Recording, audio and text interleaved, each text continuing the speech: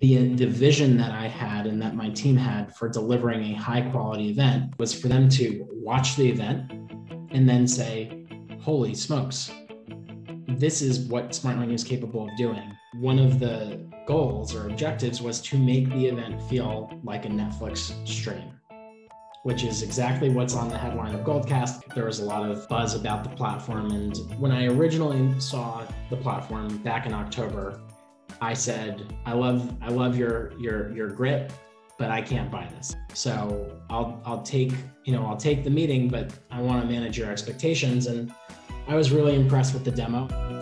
One of the key attributes of Goldcast is the ability to simulate the content.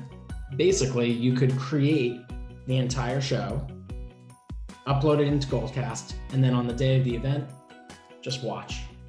We, we had customers, we had prospects, we had competitors, you know, everyone, and we had translators. It was a, there were a lot of people at the event. You know, you should get into this event and, and look at this, but like people were chatting the entire time. The average number of minutes that the consumer stayed on the event was 112 minutes. We can actually go and look at how many people who spent time in this booth and for how long. The way that we believe you can best engage users is by creating great content. You could say easily the majority of respondents said that it's somewhat improved or significantly improved. 55% of people said they were extremely likely to attend another global ready in the future. 95% said it was easy to log in. Like it, it did it did look really really good